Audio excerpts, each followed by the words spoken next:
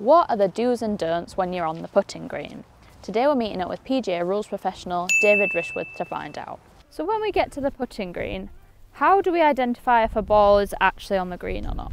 Okay, well if any part of the ball touches the putting green, it's deemed to be on the putting green. Okay, so that is half and half, so that the ball rests on the putting green there. I think that's really interesting because I think most people would think like the majority of the ball has to be on the putting green, but actually a tiny fraction could be on and it's any part of the ball if that touches the putting green or if it rests on a loose impediment providing part of that ball is over onto the putting green side it's deemed to be on the putting green. Yeah.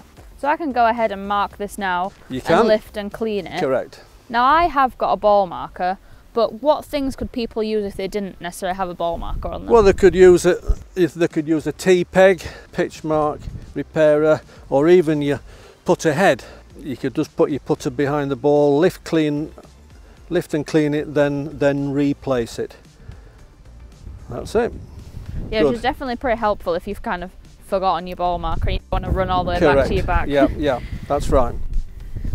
Now, on the green, it's quite unusual because we can repair kind of damage. So if there's a pitch mark, we can repair it. Correct. And now we can even repair spike marks. How does that work in terms of like loose impediments and things like that? Yeah, we can move loose impediments. Sand and loose soil, if there's any sand or loose soil on the putting green, we can br brush it aside with our hand or, or, or club. As you say, spike marks we can repair. Any indentations, we can repair old hole plugs. Mm -hmm uh, turf plugs, basically anything, well you can virtually repair anything now.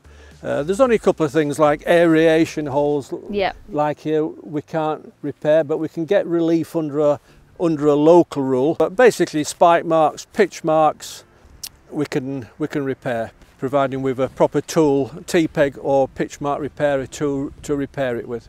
Now this changes slightly if we are just off the green. So this ball here has sand and loose soil in front of it. Because we're not on the green, we can't move that.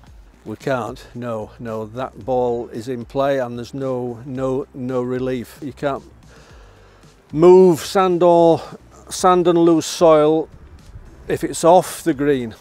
So the only exception to that rule would be if my ball was here and there was no sand and then someone hit from a bunker here yeah, and put yeah, sand correct. on my line, yeah. I can then clean that to get the original lie. But if that sand's there when I when my ball arrives, Correct. it's just tough luck. Yeah, that's right. You're entitled to the original lie you had. So as you say, if someone else threw sand or exploded sand over near your ball, you would be able to yeah. brush that sand out of the way. But so in this situation, I'd either have to put through the sand or get my wedge out. Correct. Or or uh, or chip it. Yeah. Now I have another question here because my playing partner's left a pitch mark on my line.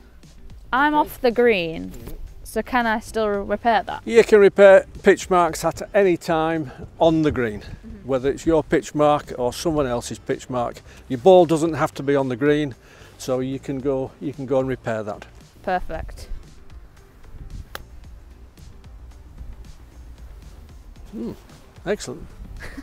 Excellent. So if I marked my ball and say I'm repairing a pitch mark or something and I slip and accidentally knock this marker or it got blown away in the wind. Correct. What do I do in that scenario?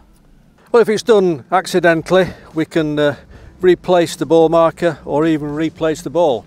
Oh, okay. uh, and if, if you're not quite sure where it, where it was originally, you can just estimate it and put the ball marker or, or the ball back down. Perfect. No penalty. So pretty simple, and there's no penalty for No that. penalty for accidental.